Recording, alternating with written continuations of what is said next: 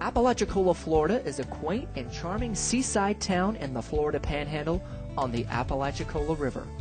With a population of slightly over 2,000, this coastal town has a rich history and maritime tradition. It's a great place to both live and visit. If you're looking for a home or a weekend retreat, the Gibbs Cottage at 236 Prado Street has much to offer.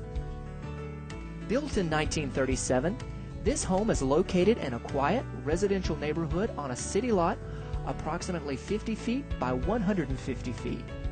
You'll enjoy southern living at its finest with an 8 foot by 24 foot screen porch across the front of the cottage. It even has a swing ready for your enjoyment.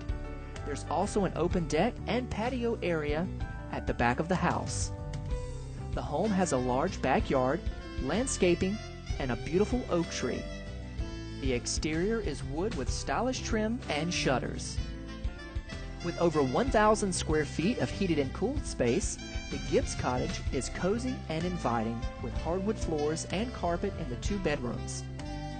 This home has one full bath and one half bath, as well as a laundry closet with washer and dryer hookups. The main bath has vessel sink, granite countertop, and a tiled shower with glass doors. The kitchen has been fully renovated with stainless steel appliances, granite countertops, and custom cabinets. There's plenty of cabinet space in this small but well designed area. The living room and dining room are open with plenty of natural lighting from the windows.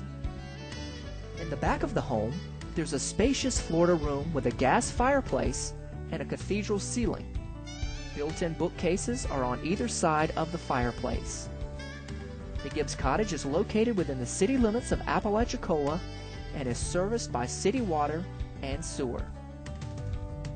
This home is currently owned by local artist Miss Alice Jean Gibbs, who was the original Coca-Cola girl model in the 1930s.